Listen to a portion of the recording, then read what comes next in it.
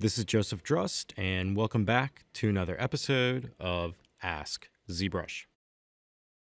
So we had a question sent in asking, how can I change the hotkeys for changing brush size?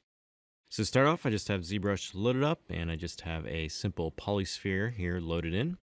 And the question is asking about changing the hotkeys for brush size. So if you're inside a ZBrush and you hover over your model and you click on either one of the brackets on your keyboard, the one bracket will end up increasing the draw size here and the other bracket will decrease the draw size. So is there a way to change the hotkeys that are associated with this so I can bind them to other keys on my keyboard? So the buttons that control this draw size up and draw size down are located in the ZPlugin palette. So if I navigate up here to ZPlugin and then open this up, and then if I go to the miscellaneous utilities section, in here you have a decrease brush button and also an increase brush button. And if you hover over both of these buttons here, you'll see they're currently hotkeyed to those two brackets on the keyboard. So when you press these keys on your keyboard, it's just looking at these two buttons right here. Now below these buttons, there's also an increment slider, and this will determine how fast the brush size increases or decreases.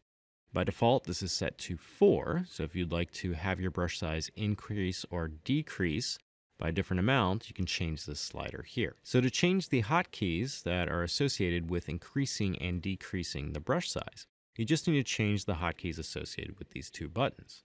So to do this, you just need to hover over one of these buttons and then hold down Control and Alt on your keyboard and then click. This will allow you to now assign the next button press as the hotkey for this button. So I'm going to change this to say 9, and you can see it has now changed this hotkey for the brush decrease to 9 on my keyboard.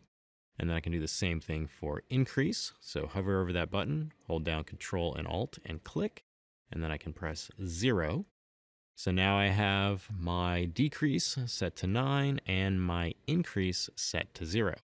So now if I come across my model again and now use 9 and 0, I will increase and decrease my draw size. So the buttons again that are associated with the brush sizes live in the miscellaneous utilities here, and it's the brush decrease and the brush increase. So if you have other questions related to ZBrush pipelines or processes, please use the hashtag AskZBrush on Twitter. Happy ZBrushing!